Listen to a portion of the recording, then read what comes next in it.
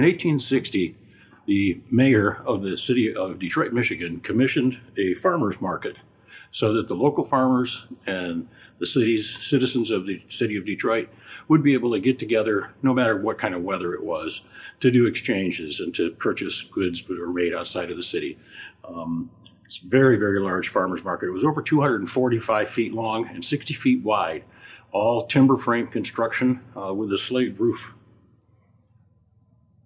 In 1892, um, the then mayor decided that it really was kind of not the best idea to have all of those horses and the things the horses leave behind and um, all of that activity for um, food and fish and meat and everything else in the city.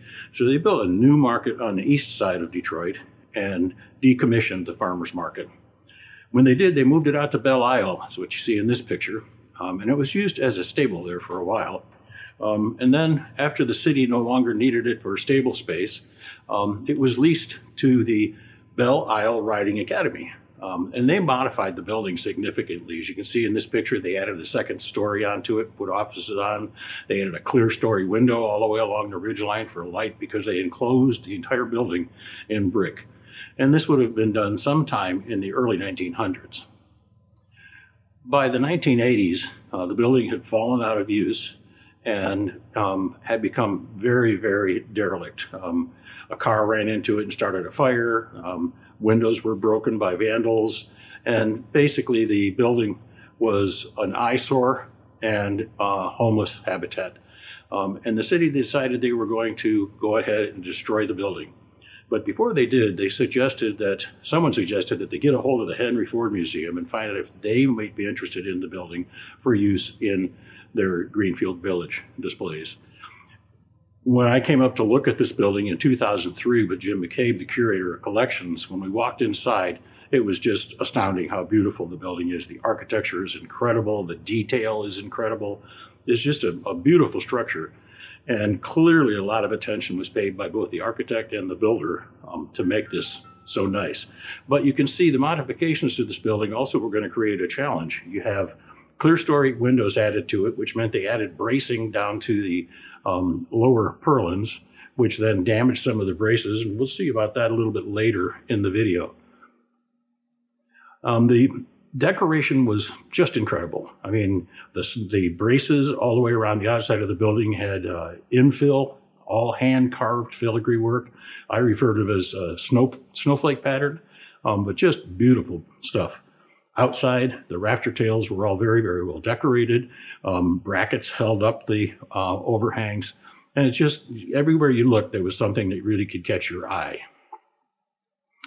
In 2003, um, the arrangements had been made for the Henry Ford to take it, and our crew came up and worked with West Shore Services and deconstructed the building and documented it and put it into storage and after we had finished the documentation of it, we constructed a 3D model of what the building um, would have looked like originally. Um, and it was determined by the Henry Ford Museum that the building was actually too big for a Greenfield Village, even. And so four bays were taken out of that uh, structure, two on each end, um, to make it fit in the place that they wanted it to fit. Um, when it came time to begin working on the building again to put it back up in 2020, um, all of the timbers had to have um, lead paint abatement done. And so a warehouse was leased in Romulus, Michigan, where all of these timbers were hauled to. Um, they did the lead abatement work there, and then they moved them into storage in another open part of the warehouse where we could come up then and do the final assessments on those timbers and determine how much damage there really was, how much work it was going to be to fix it, um, just to get a better handle on what was going to need to be done to get this building back in service again. Uh, when we did, um, we had problems that we had to repair.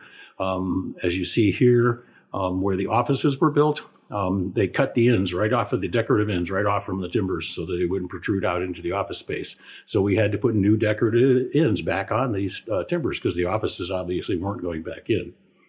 Um, here you can see um, where those trusses that I mentioned earlier came down. They cut the ends right off of all of the down braces in the building. And so those were no longer functional to put it back up again. Um, so our solution was to take the braces that only had one good end and cut the good end off of one and then splice it into um, another one, eliminating the bad end on that one. So we were able to get half as many braces as we actually needed just out of reusing the braces two for one. The rafters were fairly small. Uh, they were six by six. Um, they only, uh, and they spanned um, pretty good distances, uh, about, uh, let's see, 20, almost 20 feet. Um, and they were only, on, I mean, they were in 10 foot, six inch centers. Um, the engineers were not happy with this. Um, and what we ended up doing was actually um, adding a four by six to the top, which would be hidden in the ceiling of the building, and then using structural screws to effectively make the rafters 12 inches deep instead of six inches deep.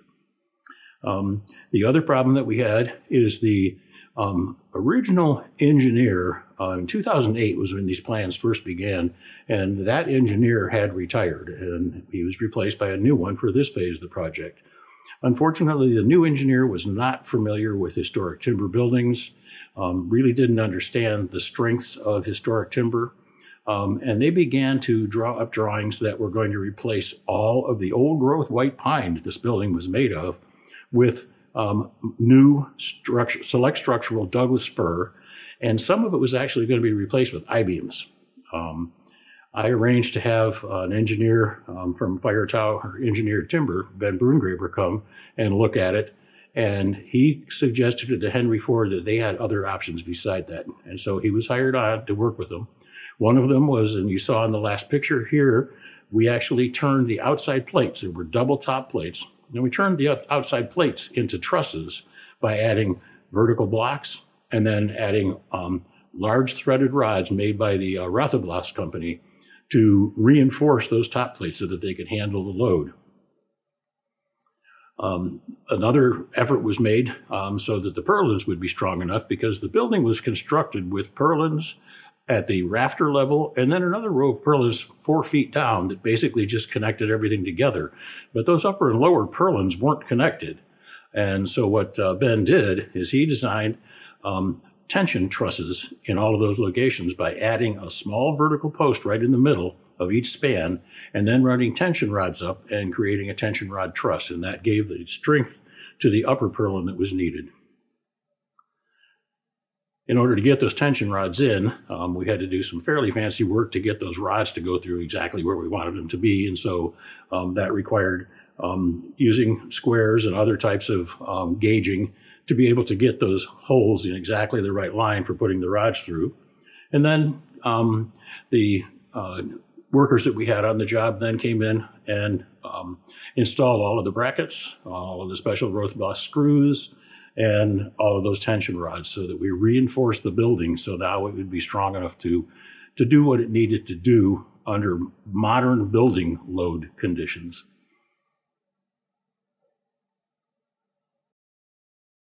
This is actually the entire crew that worked on, the building.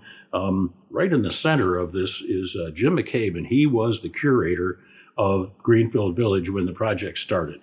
Um, and Jim retired just before we started putting this back up again in 2020. Um, but we made sure to get him involved and make sure that he could be back here um, as part of his dream. Standing right next to him is Eileen Tyler. She was the original engineer, I'm sorry, the original architect of record but she also was retired. But we made sure to get Eileen back too.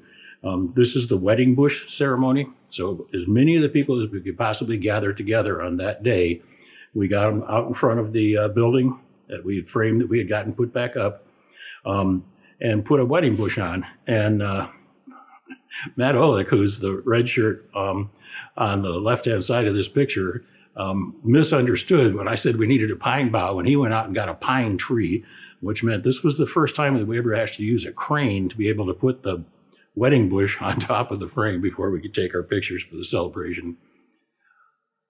Here you can see, looking at the building from the inside, it's absolutely stunning building. There's just so much going on.